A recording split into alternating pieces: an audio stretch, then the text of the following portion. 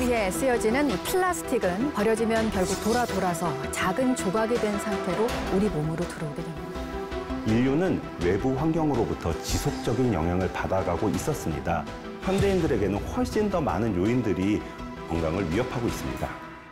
남들한테는 이뻐지는 거지만 저는 살기 위해서 다이어트를 하는 거예요. 못해, 못해. 못해. 아, 못해.